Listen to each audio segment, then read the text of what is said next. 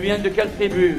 Kistidi Tu t'appelleras dit C'est-à-dire que mon père était un colonisé qui s'était battu aux côtés de son colonisateur pour l'aider à se décoloniser.